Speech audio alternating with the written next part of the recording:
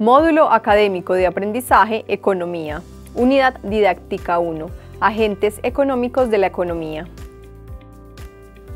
La economía es una ciencia que busca explicar y prever el conjunto de actividades que relacionan la producción, la distribución y el consumo de bienes y servicios.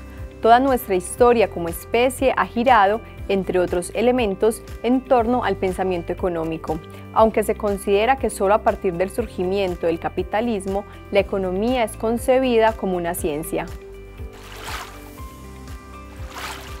Durante el desarrollo de la presente unidad se comprenderá el concepto de economía, su proceso de desarrollo a lo largo de la historia, los elementos que la componen, las dos grandes ramas de la economía, la microeconomía y la macroeconomía, y por último los conceptos relacionados con la economía internacional.